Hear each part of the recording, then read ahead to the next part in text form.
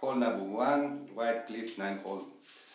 Cup tournament, rookie division. Here I play with a quarterback and a quasar ball, quarterback 7 with a put max top spin with the quarterback 7 the max distance. And I will adjust plus 20% at max and I will push back to max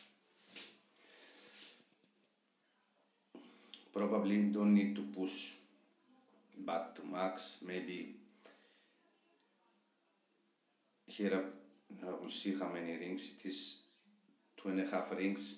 Two rings is enough to push up only two rings.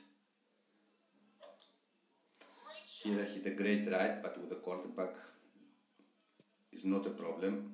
With plenty of fairway to right and left here it was not a problem to hit a great right with the extra mile also. Second shot I played plus 40% with the uh, backbone 8 with two right and two top but unfortunately I hit a great left and I missed the drop.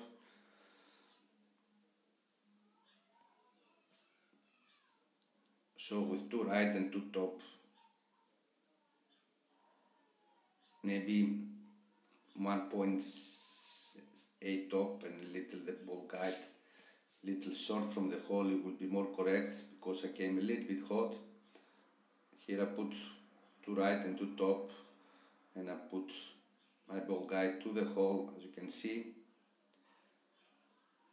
And I adjust at 90% club because I was not at max plus 40%. But unfortunately I didn't hit perfect and I missed the drop. If you like the video, press the like button. Thank you very much for watching. Good luck at the tournament. As you can see, it was little hot, so needs a little bit less toe spin and ball guide, just little short from the hole